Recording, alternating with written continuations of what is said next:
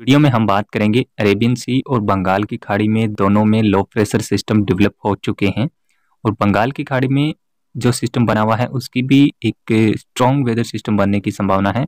और साथ ही ये दोनों सिस्टम एक स्ट्रॉन्ग वेदर सिस्टम का रूप ले सकते हैं। यानी कि डिप्रेशन की संभावना अभी आप देख सकते हैं। अरेबियन सी में जो सिस्टम बना हुआ है, उसके आसपास 45 किलोमीटर प्रति घंटे की स्पीड से हवाएँ चल रही है। जबकि जो सिस्टम बंगाल की खाड़ी में बना हुआ है उसके आसपास अभी 30 किलोमीटर प्रति घंटे के हिसाब से हवाएँ देखी जा रही है। तो जो सिस्टम अरेबियन सी में बना हुआ है, ये सिस्टम अगले कुछ घंटों के दौरान लो प्रेशर से वेलमार्क बनेगा और उसके बाद डिप्रेशन बन जाएगा। हालाँकि ये वेलमार्क लो प्रेशर की कैटेगरी में ये सिस्टम अभी भी है, क्योंकि 45 किलोमीटर के आसपास इसके हवाएँ चल रही है। जब ये हवाएँ पचपन से 60 किलोमीटर तक जाएगी तो उस समय ये डिप्रेशन की श्रेणी में ये सिस्टम आ जाएगा। और बहुत जल्दी ये सिस्टम अभी डिप्रेशन बनने वाला है। बंगाल की खाड़ी में जो सिस्टम है, उसको अभी डिप्रेशन तक की श्रेणी में जाने के लिए दो दिन का टाइम में और लग सकता है। अभी ये सिस्टम लो प्रेशर आज ही बना है, जबकि अरेबियन सी में ये सिस्टम आज रात को ही बन गया था और उसके बाद इसमें विंड स्पीड में काफ़ी इजाफा देखा गया है। और इन दोनों सिस्टमों के चलते दक्षिण भारत के साथ साथ मध्य भारत के कुछ भागों में और पूर्वोत्तर भारत में कई स्थानों पे अच्छी बारिश होने की संभावना है अगले कुछ दिनों के दौरान, यानी कि अगले एक सप्ताह तक। इन दोनों सिस्टमों के प्रभाव से कई राज्यों में भीषण वर्षा देखी जा सकती है। अरेबियन सी में जो सिस्टम बना हुआ है, उसके प्रभाव से अगले दो तीन दिनों के दौरान महाराष्ट्र, कर्नाटका और साथ ही कोंकण, गोवा के साथ साथ केरला के भागों में यहाँ पे कई स्थानों पे अति भारी बारिश हो सकती है, जिसमें विशेष करके, यानी कि कोंकण, गोवा का जो रीजन है, यहाँ पर कर्नाटक, कोस्टल, कर्नाटका के भागों में। और साथ ही महाराष्ट्र के मुंबई, नासिक, पुणे आसपास के भागों में कई स्थानों पे आज से ही यहाँ पे बारिश की गतिविधियों में इजाफा देखने को मिलेगा। और ये सिस्टम जो अरेबियन सी में बना हुआ है, ये सिस्टम हालाँकि अभी कुछ अगले घंटों में डिप्रेशन बनने के बाद ये सिस्टम जैसे ही महाराष्ट्र और जो कर्नाटका का कोस्ट है, उसकी तरफ़ ये सिस्टम आगे बढ़ेगा। वहाँ पर ये फिर कमज़ोर होगा लो प्रेशर बनेगा, यानी कि दो अक्टूबर तक ये सिस्टम लो प्रेशर से साइक्लोनिक सर्कुलेशन के रूप में ये सिस्टम आ जाएगा। यानी कि चक्रवाती हवाओं के क्षेत्र के रूप में ये तेलंगाना और आसपास के भागों पे पहुंचेगा।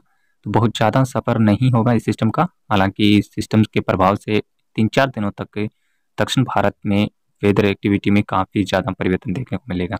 लेकिन जो सिस्टम बंगाल की खाड़ी में बना हुआ है, इसके, अभी हालाँकि ये सिस्टम भारत के कोस्ट से काफ़ी दूर है।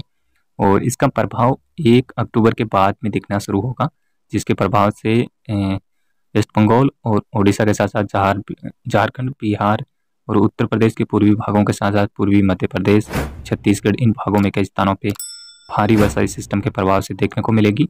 और आज आप देख सकते हैं यहाँ पे कई स्थानों पे महाराष्ट्र, तेलंगाना, दक्षिणी छत्तीसगढ़, पूर्वी मध्य प्रदेश के भागों के साथ साथ आंध्रा उड़ीसा कर्नाटका के कुछ भागों में यहाँ पे कई स्थानों पे आज बारिश होने की संभावना है और अगले कुछ घंटों के दौरान यहाँ पे और ज़्यादा एक्टिविटी में बढ़ावा देखने को मिलेगा। इस सिस्टम दोनों सिस्टमों के प्रभाव से देश के दक्षिणी और उत्तर पूर्वी भागों में रेनफॉल एक्टिविटी काफ़ी अच्छी होने की संभावनाएँ हैं। हालाँकि उत्तर भारत में इस सिस्टम के चलते बहुत ज़्यादा एक्टिविटी में बढ़ोतरी यहाँ पे नहीं देखने को मिलेगी। लगभग वेदर ड्राई रहेगा यहाँ पर अगले 10-15 दिनों तक हालाँकि दिल्ली तक ज़रूर जो बंगाल की खाड़ी में सिस्टम बना हुआ है, उसके प्रभाव से बादल देखे जा सकते हैं आठ, सात, आठ अक्टूबर के आसपास में।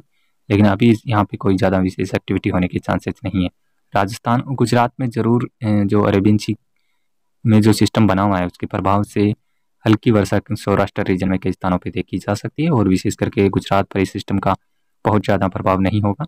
कोस्टल इलाकों में ज़रूर हल्की से मध्यम दर्जे की बारिश यहाँ पे देखी जा सकती है। इसके अलावा पश्चिमी मध्य प्रदेश, गुजरात के उत्तरी भागों के साथ साथ राजस्थान, हरियाणा, पंजाब और पहाड़ों पर वेदर बिल्कुल यहाँ पर ड्राई रहेगा। बहुत ज़्यादा यहाँ पर एक्टिविटी होने की संभावना है नहीं। तो कुछ इस प्रकार से अगले चार पाँच दिनों के दौरान देश के तमाम राज्यों में ये दोनों सिस्टम कई राज्यों में जो है वो भारी वर्षा देंगे और जिसके चलते ये तूफानी बारिश है, जिसके चलते नुकसान भी हो सकता है फ़सलों को, क्योंकि फ़सलें अभी पक करके तैयार हो चुकी है। तो इस लिहाज से किसानों को थोड़ा नुकसान का सामना करना पड़ सकता है। दोनों ही सिस्टम डिप्रेशन की श्रेणी तक जाएँगे और संभावित है कि अभी दोनों सिस्टम में ऐसा लग रहा है कि डिप्रेशन बनेंगे। लेकिन फिर भी अगर जो अरेबियन सी का जो सिस्टम है वो बहुत ज़्यादा समय तक समुद्री क्षेत्र में नहीं रहेगा तो इसकी थोड़े से चांसेस कम हैं। लेकिन जो सिस्टम बंगाल की खाड़ी है उसको थोड़ा रूट मिलेगा जिसके चलते ये डिप्रेशन तक जा सकता है। तो इसके बाद में जो भी अपडेट होगा, हम आपको इसके बारे में भी अपडेट करेंगे। फ़िलहाल इस वीडियो में अभी इतना ही। धन्यवाद।